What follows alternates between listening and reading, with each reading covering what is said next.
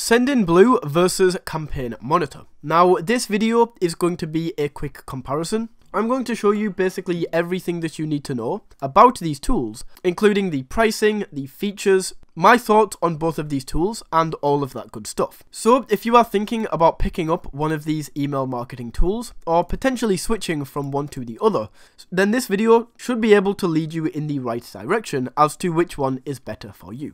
Okay, so jumping right into this, the first thing that I want to say is both of these email marketing tools are relatively similar in terms of what they actually do.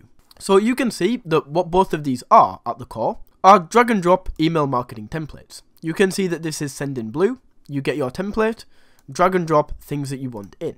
Campaign Monitor, you get your template, drag and drop things that you want in. Now, as you can probably see from here, I will say that Campaign Monitor has slightly better user interface. Like you can see just from the screenshots that they show, and basically how the website feels, the Campaign Monitor does feel slightly better, slightly more modern, and slightly more up to date. A little bit more premium, if you will. Now, another cool thing about both of these email marketing tools is that they both offer SMS marketing. So look, SMS marketing here, SMS marketing. And uh, I would say that this is relatively rare for a email marketing tool to offer this. Like usually you get an email marketing software and it is just email marketing.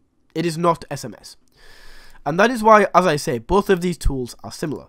They are drag and drop email marketing autoresponders that also offer SMS. Now, of course, they have a few nuances here and there. Like some of the features are slightly different. The user interface feels slightly different, but overall, like the backbone of the software is basically the same. So, the main thing or the main difference between these two softwares comes down to the pricing. Now, mm, can I change this into dollars? Apparently not. Okay, fantastic. Uh, I will go add this to pound 10. So this is in pounds, but this is just for a comparison, so you can see which is cheaper, and you will be able to get a general idea in dollars for what they are worth. So first of all, can you get a free trial with either of these softwares? Well, Campaign Monitor says try for free in this top corner. However, it doesn't really tell us how long we can get for free or how long this free trial lasts. So that is a little bit annoying. Whereas on Sendinblue, you can see that the free trial Zero dollars a month, you can have unlimited contacts, as many contacts as you like, and you can also send 300 emails per day on this free account. Now, if you want to send more than 300 emails a day, that is when you have to upgrade. But I do have to say that just for the fact they are more open and tell us more about the free trial, Sendinblue is better for the free trial. But who really cares, right? The, the free trial is such a tiny factor in what this is about. So that doesn't really matter, does it?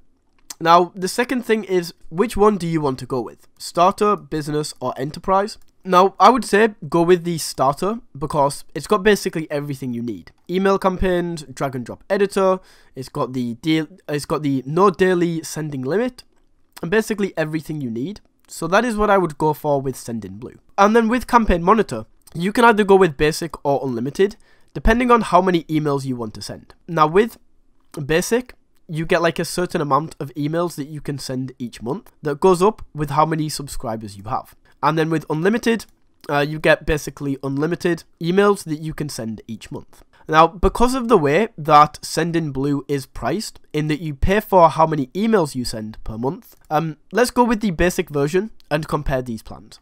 So let's say we want to send 20,000 emails per month. Let's move this up. Um, okay, so 25,000 can we actually do this? No. Um, let's just go here. Okay, so let's say 20,000 emails per month. With Campaign Monitor, if you want to send 25,000 emails per month, you will be spending £49. Now, the reason that this is uh, on 25,000 and not 20 is because I literally just, I can't get it to 20. But we can still see which is cheaper. So Campaign Monitor, 25,000 emails, £49 per month. Sendinblue, 20,000 emails is £16 per month. So it, it is so, so much cheaper. If we just move this up a little bit more and say um, 40,000 emails per month, mm, we can only get this to 50, and we can't do the same here. But either way, Sendinblue, £25 a month for 40,000 emails. Campaign Monitor, almost £80 a month for 50,000 emails. So, yeah, it is quite obvious which is going to be cheaper here. And uh, Let's finally try out 100,000 emails. The funny thing is, you can send 100,000 emails on Sendinblue for £50 a month, whereas you can send 75,000 emails, so even less. So you can send less emails on Campaign Monitor for a higher price. So it is crazy. For over double the price even. That is so crazy how expensive Campaign Monitor is in comparison to Sendinblue.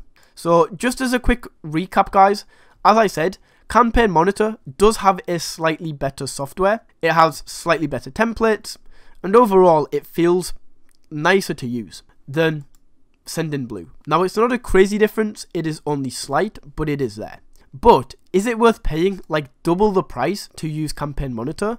Not at all. For the price of Sendinblue, I would absolutely choose this email marketing software because it is very nicely priced in comparison to Campaign Monitor, which is very overpriced in my opinion. So that is Sendinblue versus Campaign Monitor. Now, if you learned something from this video or if you found it valuable in some way, don't forget to smash that like button and tap that subscribe button. And until next time, take it easy.